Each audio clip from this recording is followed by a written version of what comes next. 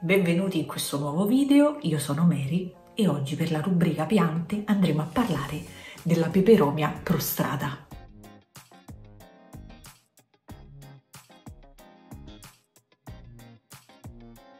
La peperomia prostrata viene anche chiamata rotundifoglia proprio perché le sue foglie sono rotonde proviene dal Sud America ed è un tipo di peperomia strisciante.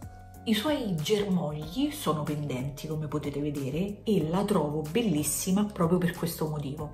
Diciamo che come risultato d'interno il modo più bello per mettere questa pianta all'interno delle nostre abitazioni sicuramente è appenderla o poggiarla in maniera tale che i suoi germogli cadono verso il basso.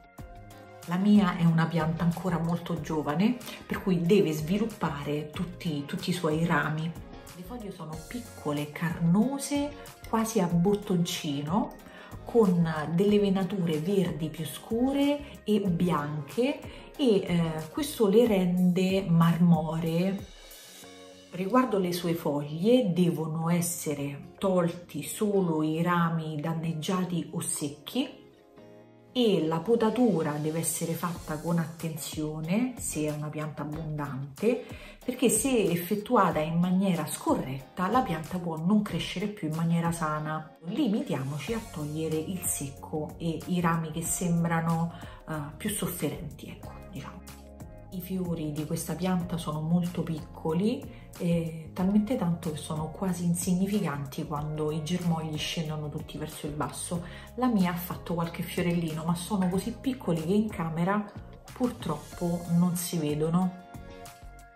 La peperomia prostrata, essendo una pianta nativa del Sud America, ama le nebulizzazioni perché le ricreano un'umidità che eh, nella sua terra d'origine avrebbe sempre. Quindi sì, approvatissime le nebulizzazioni, no le annaffiature mh, forti e, eh, perché eh, creerebbero marciumi radicali e quindi la pianta ovviamente potrebbe morire, appassirsi e addirittura sopra la superficie delle foglie creare proprio delle croste. Quindi mi raccomando poca acqua e nemmeno troppo spesso, proprio perché è una succulenta e le piante ce lo fanno capire anche nella loro natura cioè quando troviamo una foglia carnosa inevitabilmente sarà una pianta che eh, tollererà la siccità e odierà i ristagni idrici.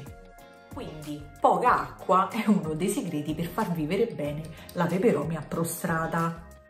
Questa pianta non, non deve essere concimata eh, dall'autunno all'inverno, quindi concimi solo nella primavera e nell'estate e se vedete che cadono molte foglie dai rami è perché la temperatura non è adatta, quindi è esposta a una temperatura probabilmente troppo bassa o le avete dato troppo fertilizzante, quindi lei in quel caso uh, perderà le foglie.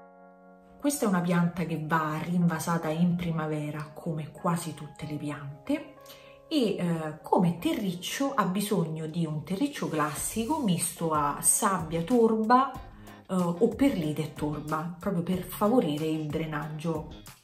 La propagazione di questa pianta è eh, tramite talee fogliari e se vi, se vi interessa questo argomento scrivetemelo nei commenti e provvederò a fare un video e vi mostro tra i miei esperimenti che cosa ho uh, fatto da un rametto che si è staccato.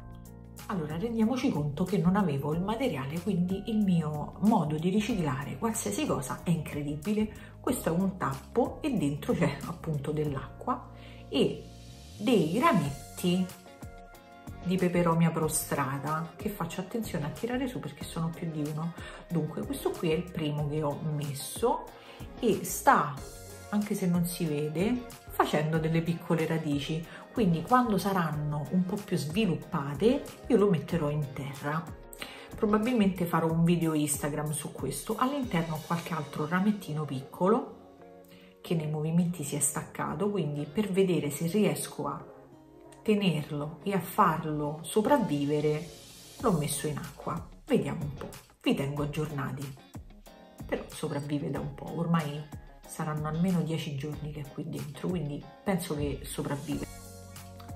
La peperomia prostrata può essere tenuta in casa senza problemi perché non è velenosa né per cani né per gatti e nemmeno per noi che possiamo maneggiarla senza guanti perché ovviamente non è urtica, urticante.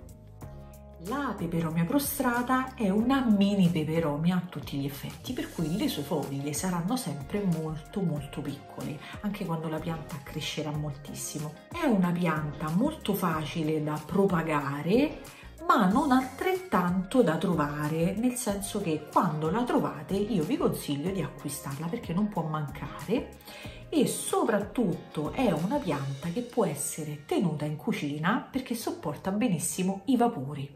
Quindi una delle collocazioni più belle che potete avere nella vostra cucina è una peperomia prostrata che scende da qualche pensile, secondo me. Se questo video vi è piaciuto io vi invito a mettere un like e scrivermi un commento su questa bellissima pianta. Vi invito ad iscrivervi al canale per rimanere sempre aggiornati sui miei video. Diciamo che cerco di farne uscire uno a settimana se è possibile.